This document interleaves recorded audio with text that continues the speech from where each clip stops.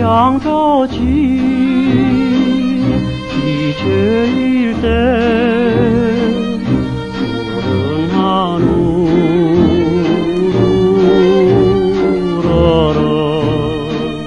산등성이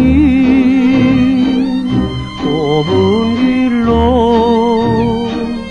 내가 정에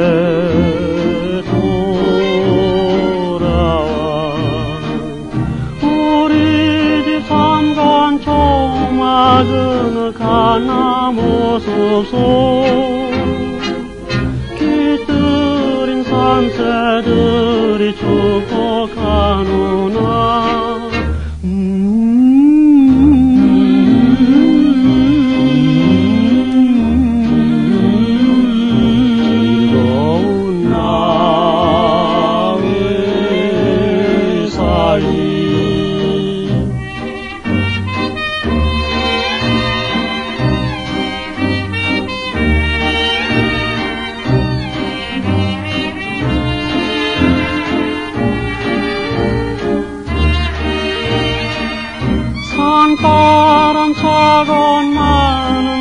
따뜻한 님의 가슴